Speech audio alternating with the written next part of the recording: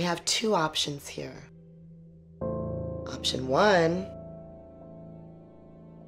you take these two pills, cyanide. You call your wife and kids. You tell them how much you love them and how much you'll miss them and how much they mean to your heart. You'll have three minutes before your heart implodes. I was gonna tell you. But I was scared. Please don't do this. Relax. It's okay. We have an option too. I can take this gun right here. Point it right between your eyes and shoot. Quick, easy, painless.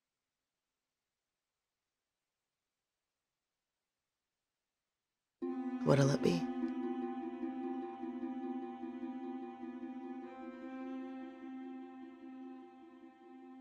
I'll take option one. All right. Option two it is.